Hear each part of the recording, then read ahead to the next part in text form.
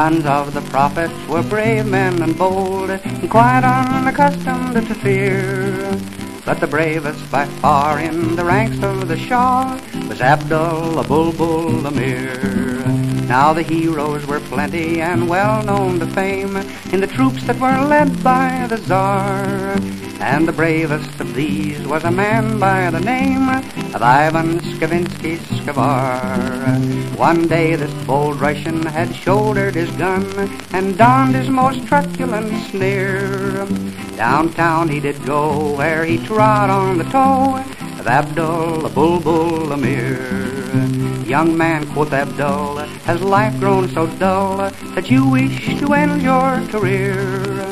Vile infidel, no, you have trod on the toe of Abdul Abulbul Amir. Said Ivan, my friend, your remarks in the end will avail you but little, I fear. For you ne'er will survive to repeat them alive, Mr. Abdul Abulbul Amir.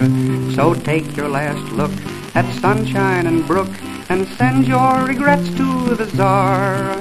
For by this I imply you are going to die, Count Ivan Skavinsky Skavar.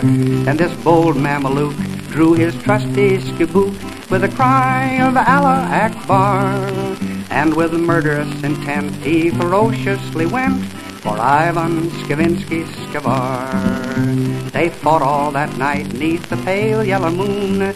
The din it was heard from afar, and huge multitudes came, so great was the fame of Abdul and Ivan Skavar. As Abdul's long knife was extracting the life, in fact he was shouting huzzah. He felt himself struck by that wily Kalmuck Count Ivan Skavinsky Skavar. The Sultan drove by in his red-breasted fly, expecting the victor to cheer. But he only drew nigh to hear the last sigh of Abdul Bulbul Amir. Tsar Petrovich, too, in his spectacles blue, rode up in his new crested car. He arrived just in time to exchange a last line with Ivan Skavinsky Skavar. There the tomb rises up where the blue Danube rolls, engraved there in characters clear.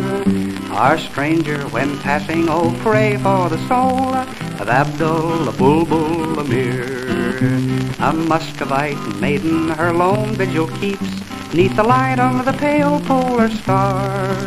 And the name that she murmurs so oft as she weeps is Ivan Skavinsky Skavar.